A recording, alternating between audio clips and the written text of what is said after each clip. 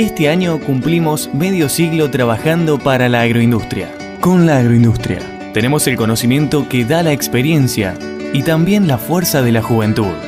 Porque además de nuestra imagen, renovamos nuestras ganas y compromiso por seguir creciendo. Creciendo junto al campo, junto a la industria. Porque cumplimos nuestros primeros 50 años. Bolsa de Cereales de Córdoba. 50 años para la agroindustria.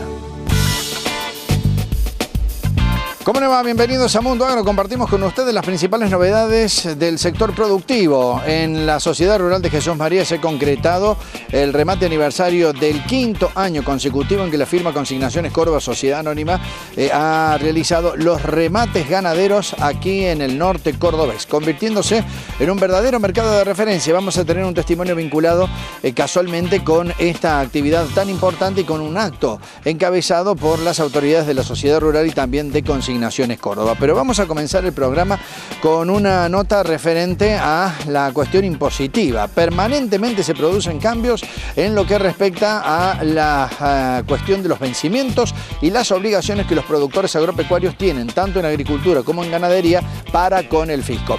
Vamos a ver el testimonio del licenciado Mariano Echegaray Ferrer. Nos cuenta de qué manera se producen los vencimientos. Algunos ya se han eh, concretado y otros han comenzado a operar, como por ejemplo el nuevo registro para operadores de carne. Mariano Echegaray Ferrer nos eh, reseña en esta nota todo lo que está relacionado con los impuestos para los productores agropecuarios. Cefar, compromiso con el campo. Cefar, somos PLA. Repuestos y servicios. Cefar Riego, todo el respaldo en sistemas de riego. En Sinzacate, Cefar PLA, Cefar Riego. El Estado también, a partir de la AFIP, está buscando un nuevo registro, en este caso para operadores ganaderos y quienes tienen la posibilidad de comercializar la carne. Eh, ¿En qué consiste todo esto? ¿Qué tiene que hacer el productor ganadero? Esta es la nueva avanzada que está habiendo desde el punto de vista fiscal, que es la réplica del registro fiscal para grano, lo están haciendo para lo que es el negocio ganadero. Básicamente es una inscripción dentro de un registro, que es un trámite online, que no requiere documentación como, como en el otro registro, eh, la particularidad es que hablan que es un registro voluntario, pero ya se están empezando a, incorporar modificaciones que lo hacen que sea necesaria su inscripción para poder operar. Las últimas modificaciones que han incorporado es respecto de lo que es la emisión de facturas electrónicas, comprobantes electrónicos para lo que es la comercialización de la hacienda, la obligatoriedad de los consignatarios estar dentro de este registro. Eh, ¿Por qué digo la obligación de estar dentro del registro para el consignatario? Porque si no están dentro del registro no tiene validez sus comprobantes. Y la otra modificación que han incorporado es la retención del impuesto del IVA eh, pasa de si no estás dentro del registro a que te retengan el 100% del, del pago del IVA. Bien, entonces eh, con esto nuevos trámites eh, para que haya un blanqueo eh, y un seguimiento más de cerca por parte de la FIMA entre quienes son operadores, tanto para la producción como para la venta. Se está empezando a trabajar todo sobre el control del negocio de carne. la subsecretaría de Control Comercial Agropecuario está empezando a, a realizar controles sobre lo que son los frigoríficos y esto es toda una avanzada en conjunto. Por un lado, la FIP sobre el control del productor, la subsecretaría sobre lo que es el control sobre lo que son los, los eh, frigoríficos, lo que son los intermediarios en la cadena comercial, los mercados a término y todo lo que hace la cadena comercial se va a formalizar todo el negocio porque se presentaban muchos inconvenientes desde, tanto de la parte de la venta de la hacienda con las formalizaciones, no nos olvidemos que también está todo informatizado la generación de los documentos de tránsito electrónico para el traslado de la hacienda. O sea, se viene la avanzada y se viene una réplica sobre lo que fue el negocio eh, granario respecto de lo que es el negocio cárnico. Bien, en este caso para transparentar también la actividad.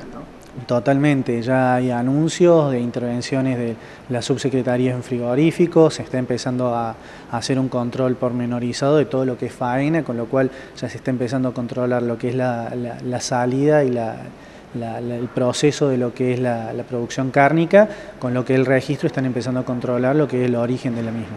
Todo entra en vigencia el primero de marzo. Eh, ¿Crees que eh, va a ser eh, paulatino la entrada en vigencia o desde el primer día ya va a hacerse un control sobre todo lo que se opera? Desde el primero de marzo, si vos no estás dentro del registro y haces una operación comercial y corresponde que te practiquen la retención, te la van a practicar en la retención, con lo cual ya el registro estaba entrando en vigencia desde octubre, se prorrogó lo que era determinados aspectos los primeros de enero, después se prorroga hasta lo que es marzo, con lo cual yo creo que es el último momento donde ya se va a, generar la entrada total en vigencia del, del registro.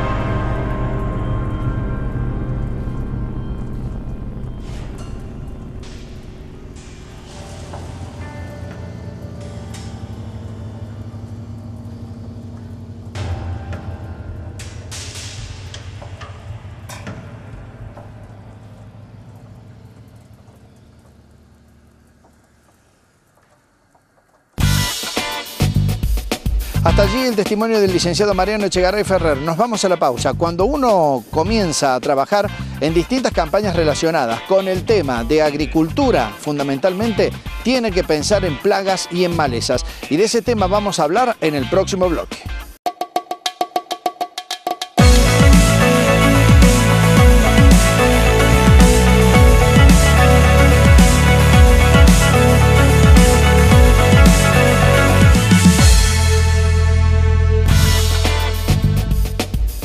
El ingeniero agrónomo eh, Sebastián de Dominici de la Asociación de Cooperativas Argentinas nos comenta qué productos tiene ACA para combatir plagas y malezas. Nota realizada en el último encuentro campo de ACA en Justiniano Pose. Tras la pausa aquí en Mundo Agro.